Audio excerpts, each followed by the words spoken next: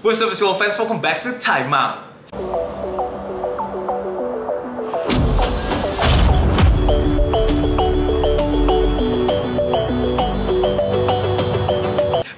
Gue Padilla, kita kembali lagi ke info basket harian dari si 27 Juli 2021 Time Out Gang, good morning everybody. Wah hari ini Time Outnya di-uploadnya pagi banget ya Apakah ini yang paling pagi per gue pernah upload Time Out?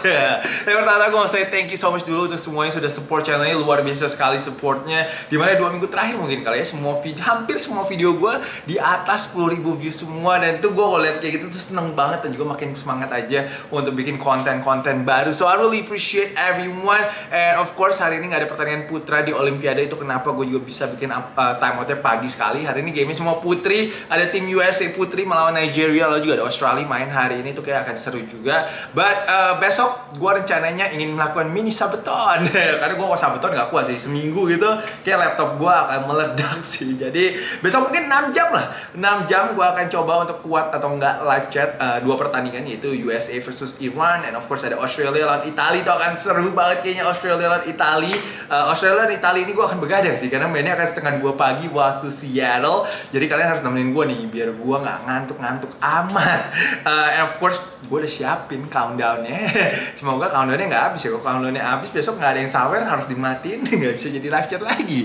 But hopefully will, it, it's gonna work though. Uh, and hopefully I will, I will see everybody tomorrow for the live chat. I'm so excited. Semoga besok di twitternya at NBAYHY akan ada ya siarannya. Kalau nggak ada sih akan asem banget Bah, hari kita akan masuk langsung ke comment of the day datang dari uh, datang dari Brandon Brandon yang mengatakan bahwa Dame forgot to charge his watch before he left the US. Ngakak banget sih menurut gue. Ini kreatif banget and of course Damian Lillard struggling banget main 3 dari 10 tembakannya dan ada dua turnover yang sangat crucial sekali dan itu kenapa Dame time main tidak bisa terjadi saat melawan Prancis. So shout out to Brandon Brandon and thank you so much untuk kalian semua yang sudah meninggalkan komen. Maaf banget gue cuma bisa pilih satu saja. Gue harapkan hari ini pun kalian akan memilih ya. Di vote aja, di klik aja yang kalian suka komennya biar gue bisa lihat yang likes-nya paling banyak siapa. Jadi gue bisa pilih komen tersebut sebagai comment of the day. Oke, kali kita langsung masuk ke Berita terbesar hari ini dari NBA siang-siang habis makan siang tiba-tiba ada blockbuster trade nih mungkin trade yang mungkin ya kedua lah ya season ini kemarin ada Kemba Walker ke OKC ini adalah yang kedua mungkin sebelum NBA draft yaitu Memphis dan juga Pelicans ya. Um, Memphis mendapatkan Steven Adams, Eric Bledsoe, number 10 pick dan juga 40 pick uh, serta 2022 protected pick yang kohala tuh uh, via Lakers. And of course Pelicans mendapatkan Jonas Valanciunas, number 17 picks dan juga number 51 picks in this year's draft Eric Bledsoe katanya Yahoo Sports dia nggak akan stay kayak nggak akan di keep sama uh, Memphis Grizzlies. Of course karena udah ada Jamoran juga di situ ada Dylan Brooks jadi kayaknya akan agak susah untuk dia mendapatkan menit apalagi juga mereka ingin develop si Desmond Bain juga pastinya. Um, dia sama Adams dia sama Steven Adams memang bad contract banget. I think Pelicans mencoba untuk get rid of that bad contracts. Um, untuk ya sebelum zamannya David Griffin kali ya kontrak itu dibuat ya. Banyak yang bilang ini win-win trade. Uh, mungkin aja ini win-win trade. Tapi kalau gue sih lebih memilih ini dimenangkan sama New Orleans Pelicans. Walaupun gue yakin akan banyak pendapat yang berbeda. Kalian buat tulis comment section juga pendapat kalian tidak masalah. Nah Memphis memang nggak terlalu downgrade banget sih dengan kehadiran Steven Adams sih. Tapi menurut gue Jonas itu tuh apa ya? Mentality-nya dan juga tipe permainan dia itu kayak udah cocok banget sama Grizzlies dan juga dia kayak connect really well with Ja Morant, with Dylan Brooks, lalu juga dengan JJJ. Uh, mereka memang naik juga 7 peringkat sih uh, draftnya dari 17 ke 10 dan dia kayak udah punya incaran ya di mana kayak incaran mereka tuh seperti ada Josh Giddy pemain Australia lalu ada Jonathan Kuminga dan katanya mereka kemarin baru aja privately workout si Moses Moody and of course ada James Bouknight juga. Itu adalah beberapa nama yang mereka incar untuk posisi 10 walaupun ada beberapa nama tersebut yang menurut gua akan diambil sebelum di posisi ke 10 itu ya. And kalau Memphis kalau mau ngambil draft pick kita nggak usah ragukan lagi lah. Scoutnya mereka bagus banget. Mereka udah menemukan John Moran, Dylan Brooks ya, ya Dylan Brooks di draft sama uh, Memphis juga. Lalu juga mereka menemukan JJJ and of course kita nggak boleh lupa juga dengan Desmond Bain dan juga Xavier Tillman musim lalu.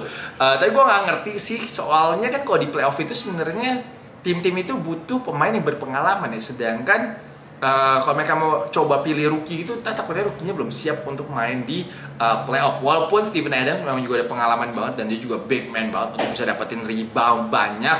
Nah untuk Pelicans mereka mendapatkan pemain yang menurut gue lebih cocok untuk tandeman dengan si Zion Williamson. Karena Jonas itu bisa spread the floor, dia bisa nembak 3 point dikit-dikit. Uh, ya, jadi Zion tuh punya space untuk bekerja inside the paint area itu lebih banyak dan dia kalau di double team, triple team dia bisa kick out ke semua pemain yang ada di lapangan karena semuanya bisa nembak 3 point nantinya. Uh, sama mereka akan punya salary cap lebih banyak. Uh, ini membuka mereka peluang untuk bisa misalnya mereka ingin resign Lonzo, mereka akan bisa uh, match any offer dari any teams untuk keep Lonzo Ball or kalau mereka nggak mau ambil Lonzo Ball, Lonzo Ball mau ke Chicago Bulls maybe atau ke Clippers gua boleh juga. Nah, mereka mungkin opsi keduanya mereka akan coba ngambil kalori, tapi kalori ini mahal loh mintanya ya.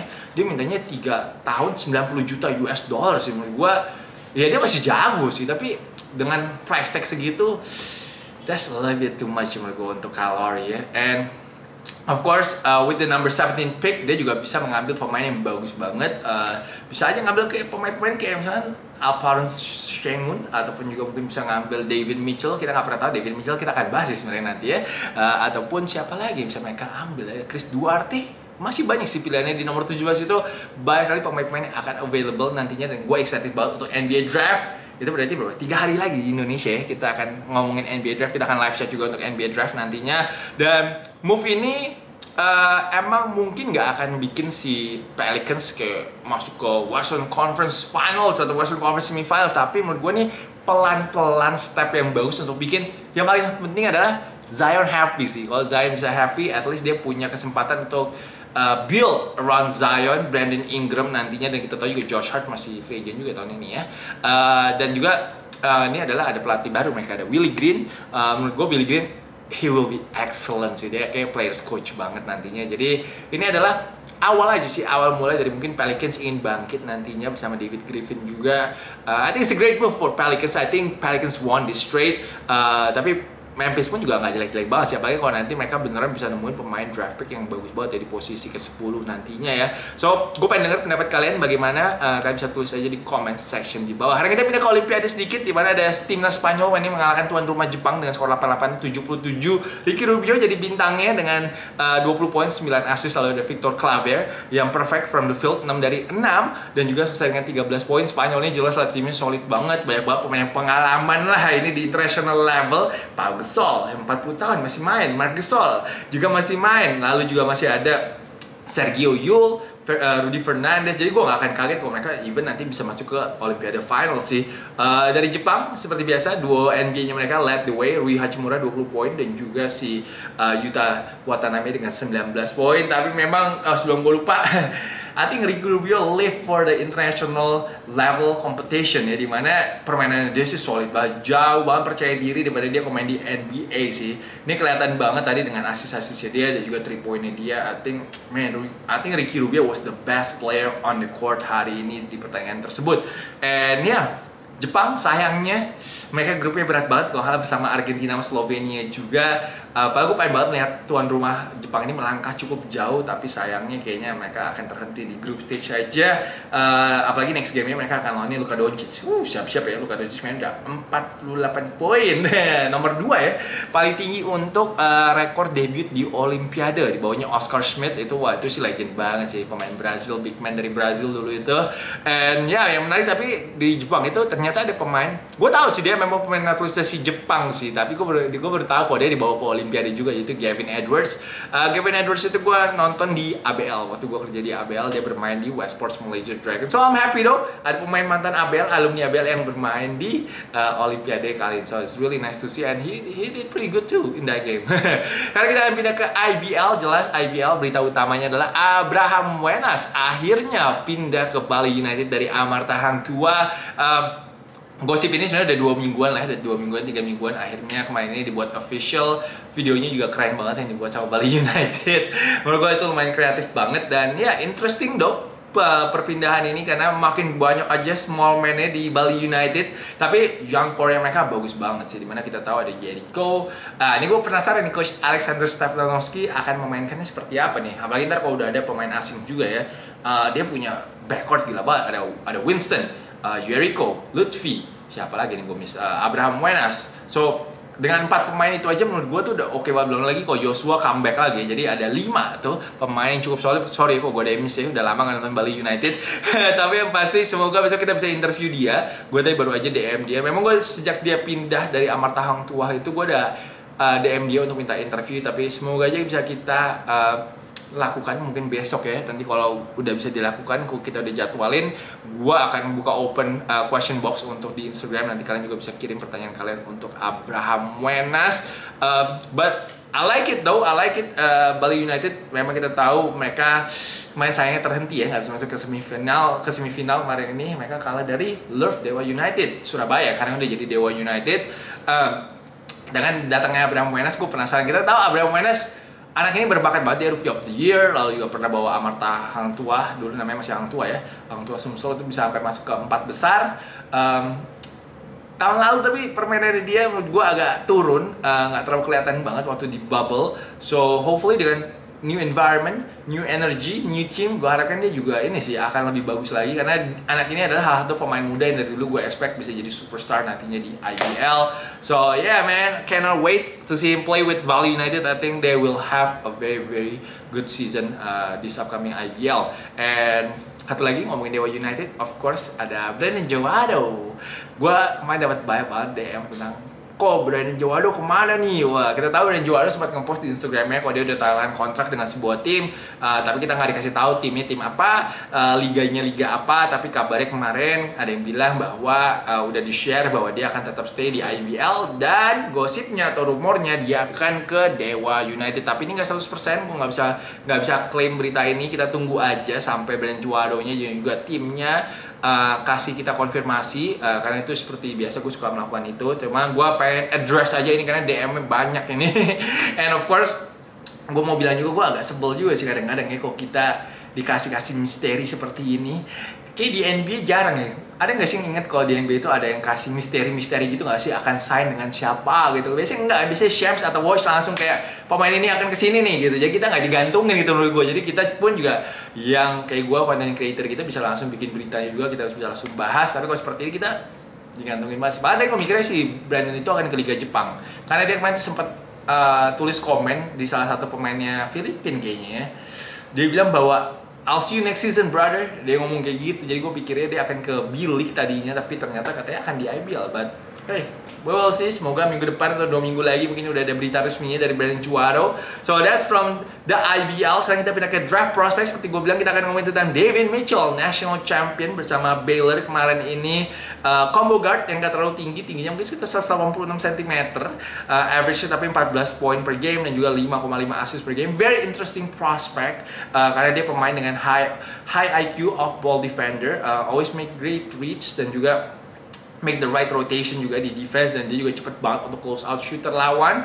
Um, dia selalu main dengan high intensity, hustle, and he will take charges dan juga untuk coba melakukan uh, chase down blocks juga. He's an elite competitor, gue yakin tim-tim akan suka banget dengan mentality-nya dan juga attitude-nya dia. Dan dia 3 poinnya improve banget dari 2 tahun pertamanya dia di Baylor cuma 31%, di junior year-nya dia main itu 45% 3 point. Jadi itu pasti akan membuat tim juga ngelirik dia ya. And weakness-nya ya jelas dia nggak terlalu atletis banget nih kayaknya. Uh, dia itu mainnya below the rim dan juga jarang banget dapat foul. Uh, tingginya pun menurut gue bisa jadi kelemahannya, apalagi wingspan-nya pun juga nggak terlalu panjang, mungkin bisa jadi trouble nih untuk jagain pemain-pemain wing yang tinggi-tinggi di NBA nantinya. Tapi of course banyak banget yang bilang dia mirip sekali dengan Donovan Mitchell dan juga maybe Drew Holiday. Uh, definitely menurut gue he's a lottery pick, uh, di mana I can see him going number 13 ke Pacers. Nggak tahu kenapa menurut gue dia pemainnya Pacers banget sih.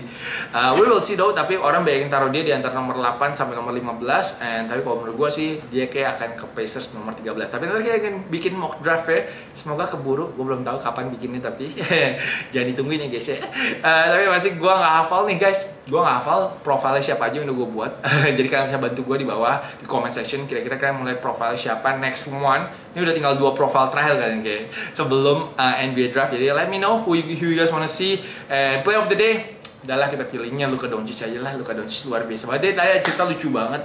Di mana Luka Doncic bilang banyak banget yang minta foto sama dia di Olympic Village. Tapi dia bilang I like it man. I like it being a stars.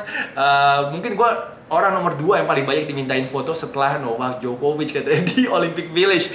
Dia gue yakin lah kalau di Olympic Village itu pemain-pemain negara lain kalau lihat Luka Doncic, lihat Kevin Durant, lihat main Kevin Durant pun ada pemain Belgium yang minta foto sama dia ya. Pasti pada minta foto semua lah karena nggak setiap harinya juga mereka bisa ketemu pemain NBA. Gua pun kalau ada di Olympic Village semua itu gue ajak foto juga kali gue rasa. Tapi pasti Uh, that was a really interesting story banget sih tadi dari Luka Doncic yang gue baca online. Uh, ya, yeah. Itu aja sih untuk time out-nya hari ini. Hopefully you guys uh, enjoy today's episode. Semoga juga kalian dapat uh, beberapa berita baru juga. So thank you so much guys for tuning in. Jangan lupa untuk like, jangan lupa untuk comment, and hopefully I will see everybody tomorrow untuk live chat. Thank you for watching, and I will see you guys again tomorrow. Peace out.